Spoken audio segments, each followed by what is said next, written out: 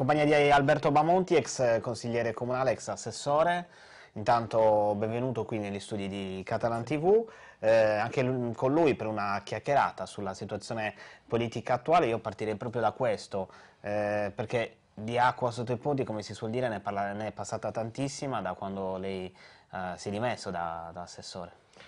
Sì, diciamo che mm, la situazione politica direi che c'è poco da commentare. Ultimamente possiamo dire che il sindaco ha dato una lezione esemplare di strategia politica ai suoi detrattori.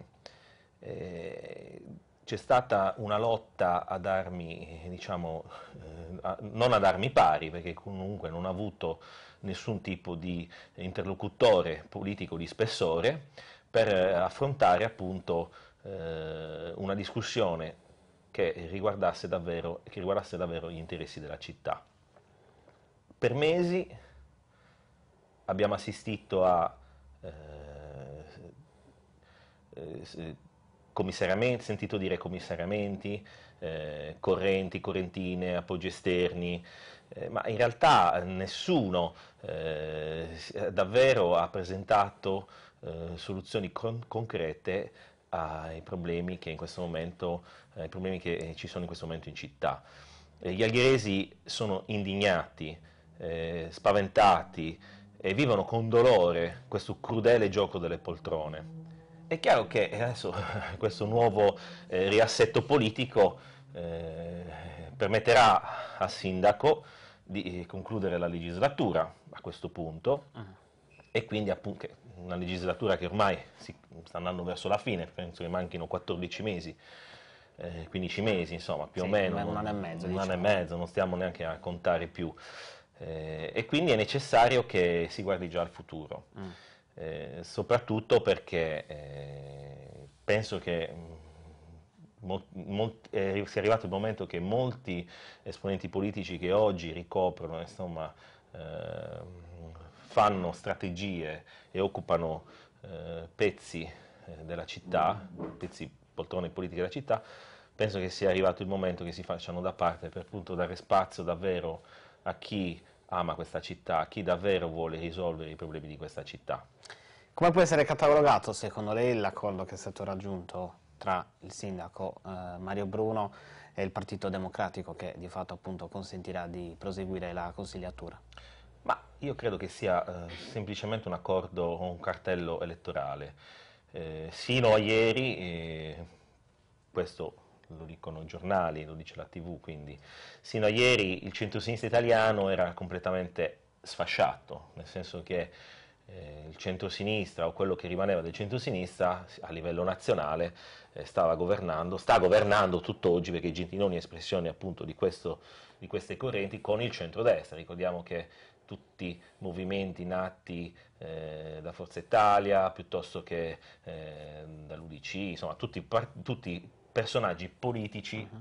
di spicco che comunque provenivano da una certa area politica che oggi governano insieme a un'altra area politica.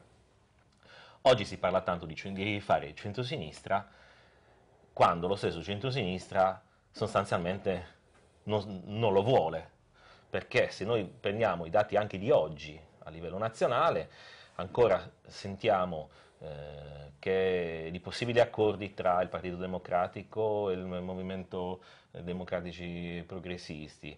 Eh, vediamo che dall'altra parte il centrodestra che sembra aver chiuso sostanzialmente un accordo, un cartello diciamo, elettorale con i, i storici partiti di centrodestra, in realtà sta già eh, mettendo le mani avanti beh, se vediamo che comunque la, la, sarà necessario apriremo comunque a tutte le altre forze politiche, non solo eh, di centrodestra. Eh, è vero che il dato è allarmante e soprattutto il dato eh, è dato dal, dal fatto che eh, abbiamo una legge elettorale partorita eh, da poco, uh-huh. che è un po' meglio rispetto a quella che c'era prima, ma non è eh, quello che sostanzialmente vogliamo tutti. Quello che vorremmo noi nel senso penso la maggior parte dei cittadini, è avere un sistema chiaro, pulito, dove vi, siano, vi sia la possibilità di mettere le preferenze, cioè scrivere nome e cognome, anche per l'elezione dei nostri deputati. Oggi eleggiamo, abbiamo le preferenze per eleggere i consigli comunali, i consigli regionali, il Parlamento europeo e abbiamo difficoltà a eleggere i deputati e a mettere le preferenze per il Parlamento nazionale. Hanno messo insomma dei listini bloccati, adesso questo Rosatellum è un po' meglio di quello che c'era prima, però io non so se poi davvero permetterà di dare uno schema eh, politico in grado di governare.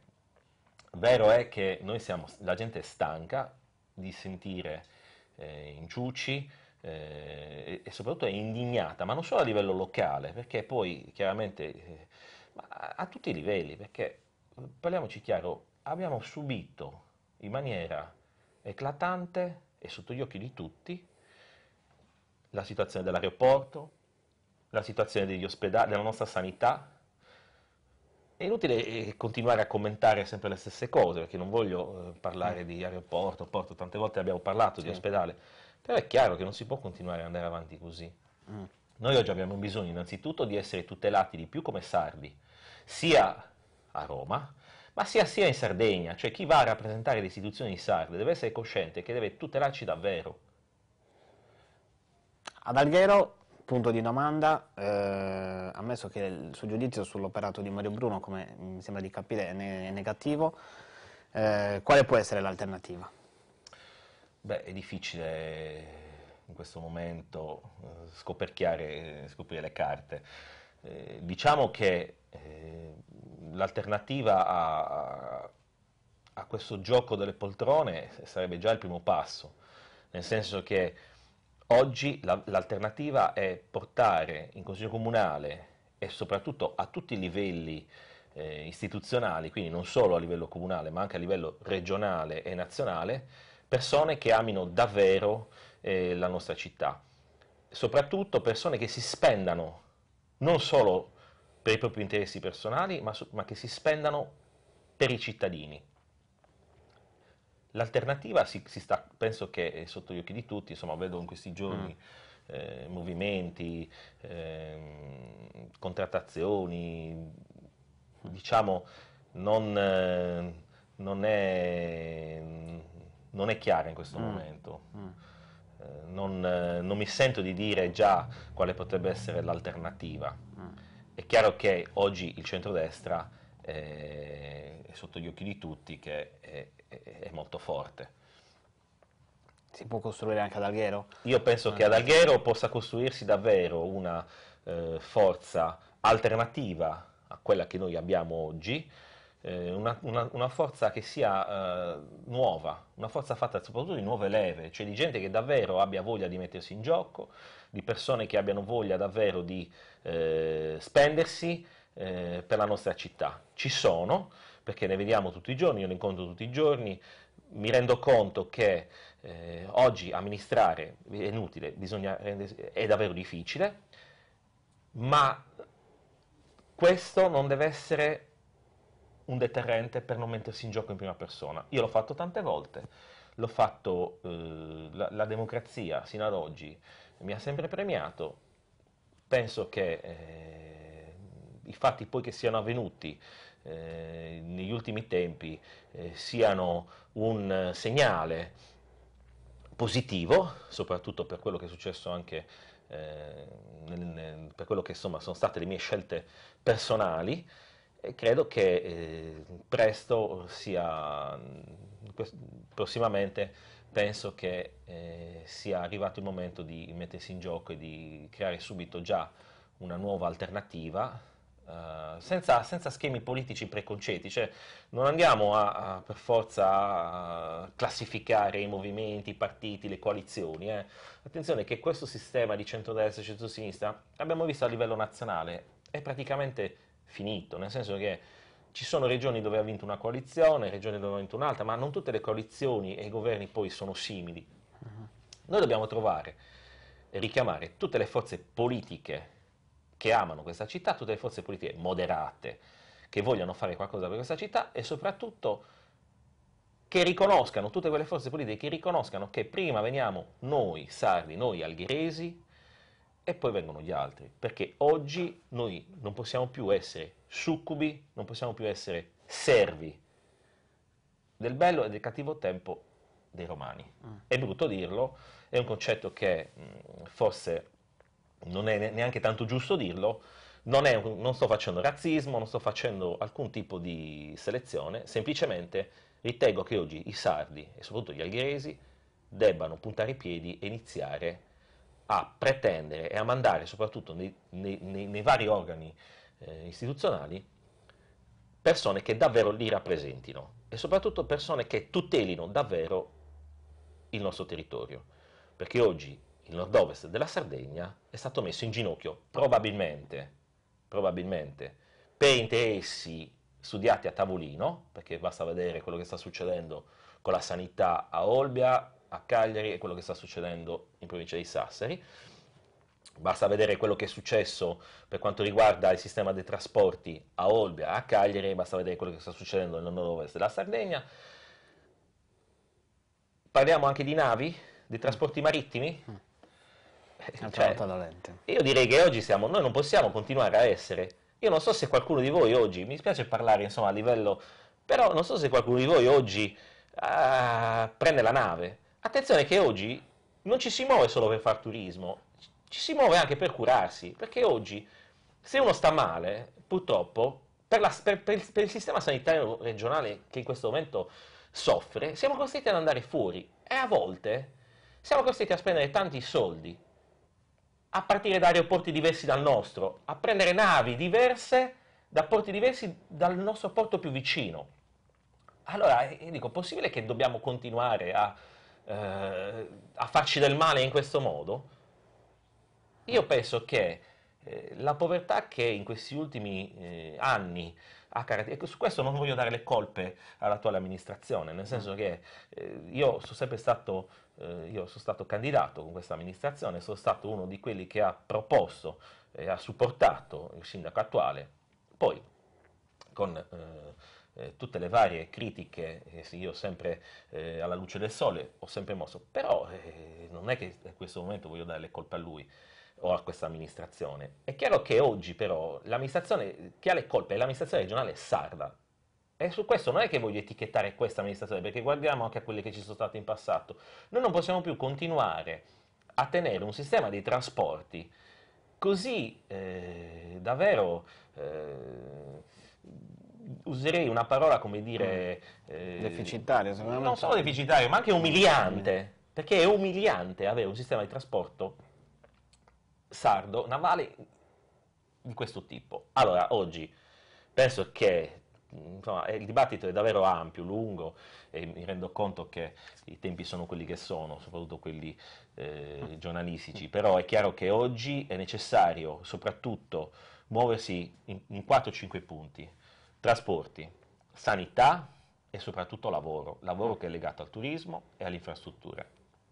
Oggi Alghero, il nord-ovest della Sardegna, soffre una grave crisi dis- dis- disoccupazionale e oggi non vedo, non, vedo, non vedo, domani proposte da parte di eh, istituzioni a livello regionale o locale, proposte concrete per risolvere diciamo, questa, questa, crisi, questa crisi dolente, soprattutto per gli algheresi, perché Alghero è una città che in questo momento soffre davvero.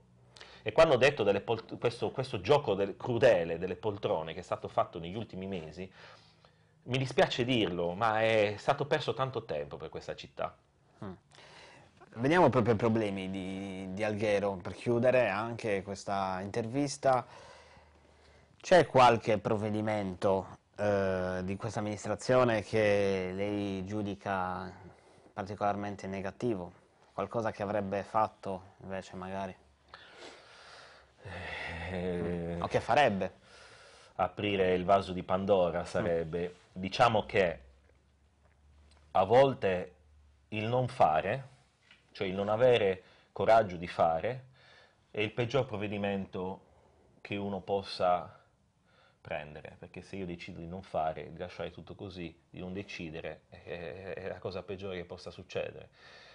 È vero che chi sbaglia, chi, chi fa corre, il rischio di sbagliare, però è, a volte è, è bene avere il coraggio e rischiare di sbagliare, perché vuol dire che se uno sbaglia vuol dire che sta facendo. Io penso che questa amministrazione abbia davvero fatto dei provvedimenti positivi, perché, attenzione, c'ero anche io quando sono stati fatti dei provvedimenti positivi. Io voglio ricordare che noi avevamo il campo Rom, il campo Rom è stato chiuso. Questo è stato un atto forte che questa amministrazione ha fatto e che ha portato a termine, è stato un atto di coraggio, un atto forte, questo bisogna riconoscerlo. Però d'altro canto ricordo anche eh, gli impegni che ci eravamo presi, il concentrarsi sul fatto che in questa città oggi è vero che c'è una grave crisi del mattone, ma c'è anche una grave crisi abitativa, ci sono famiglie che non riescono a pagarsi più l'affitto perché non lavora più nessuno. E quindi dobbiamo utilizzare, io non dico di, che dobbiamo fare total, di nuovo tu, tu, tutti i quartieri di case popolari, però utilizziamo degli strumenti per cercare di alleviare e di dare prima di tutto una casa ai nostri concittadini, perché oggi, credetemi, io non so se sono solo io che sto girando, ma oggi il problema della casa è diventato davvero importante. Io vedo ormai che le famiglie si stanno allargando perché, perché eh, i figli vanno a abitare con i genitori, con i, con i propri figli, eh, a volte anche con i nonni, e ci sono i nonni che mantengono genitori e nipoti. Perché? Perché ormai si è eh, creata questa situazione, direi kafkiana, dove non, non si trova la via d'uscita per poter, diciamo, dare stabilità economica uh, soprattutto uh, ai nostri concittadini. E questo non è che parlo solo, non sto parlando solo di camerieri e di cuochi, attenzione, perché è vero che noi adesso siamo in un settore dove il turismo, la ristorazione in questo momento è molto quotata, è molto accreditata e sta avendo un, un discreto successo, soprattutto nella nostra città. È, è, è, anche vero, è vero che ci sono tanti giovani laureati, tanti giovani talenti che vedono che l'edilizia è ferma, la, la, la, la, pianificazione turistica diciamo è ferma perché comunque sia eh, oggi Alghero cosa offre in più rispetto a una città della Croazia piuttosto che della Grecia?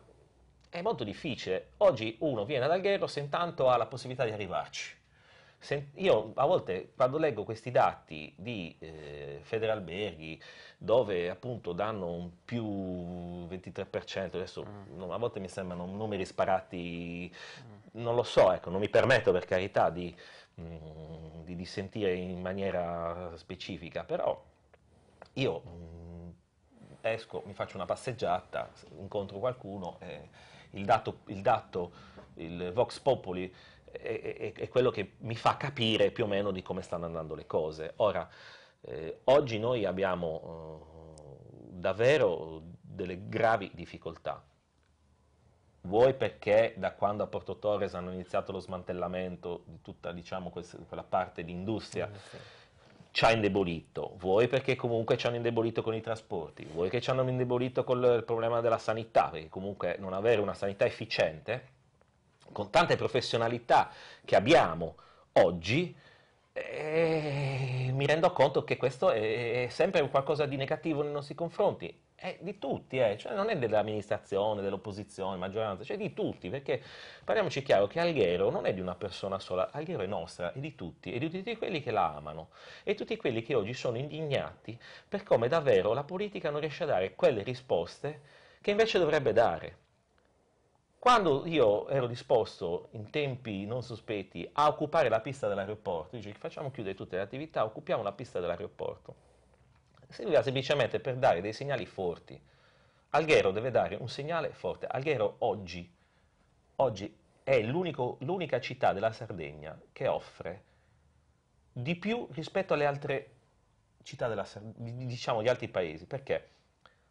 Cagliari è capoluogo, Olbia è un treno che va da solo, perché comunque è sempre stato, diciamo, scelte politiche hanno indirizzato determinate eh, cose in quella, regio- in, quella, in quella, parte lì. Noi abbiamo Sassari, quindi oggi o, o, iniziamo a capire che esistiamo anche noi, che Alghero esiste, che Alghero ha bisogno di essere forte e soprattutto ha bisogno di staccarsi da quel concetto di area metropolitana che oggi la sta danneggiando. Perché quando noi abbiamo fatto quando è stata istituita la rete metropolitana, quindi Cagliari città metropolitana, è chiaro che poi quando hanno istituito, le, dice vabbè voi potete fare le aree metropolitane, però il presidente è quello che ha il comune, il, il numero di abitanti maggiore, chiaramente è chiaro, ma eh, lo farei anch'io, è chiaro che il sindaco di Sassari se dovesse andare a difendere, difende la sanità sassarese piuttosto che quella algherese, difenderà l'università sassarese piuttosto che quella algherese. Noi nel giro di pochi anni abbiamo avuto la chiusura del tribunale, eh, l'Inps è ridotto all'osto, l'agenzia delle entrate è salva grazie ai locali che l'amministrazione comunale ha dato in concessione gratuita gratuita. Noi non possiamo pretendere che il nostro territorio venga impoverito in questa maniera perché ogni goccia che ci viene levata è una goccia di sangue che poi viene a mancare a questo territorio. Va bene. Allora, abbiamo parlato un po' di temi, domanda secca per chiudere. E risposta, domanda secca e risposta secca. Alberto Vamonti si impegnerà ancora direttamente, quindi sarà candidato alle prossime elezioni che ci saranno nel eh, 2019? Non lo so. Ok, chiudiamo così allora.